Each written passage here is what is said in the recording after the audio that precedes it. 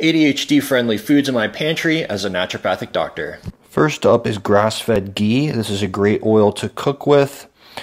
And it does not contain lactose or casein, which are two common irritants in dairy. Next up, avocado oil, another oil that I like to cook with, especially because it has a high smoke point.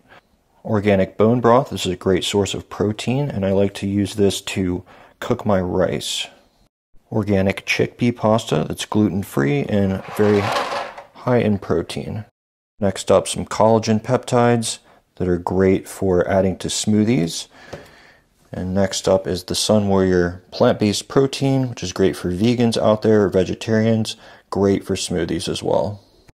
Raw almonds, great snack option, high in protein and healthy fats. Wild caught sardines in extra virgin olive oil, great source of omega 3 fatty acids. A bit of an acquired taste, but are phenomenal health wise. Wild caught smoked salmon, one of my favorites, also very high in omega 3s, great for the brain and for focus. Lastly, we have some organic, very dark chocolate, 85%, low in sugar and high in antioxidants.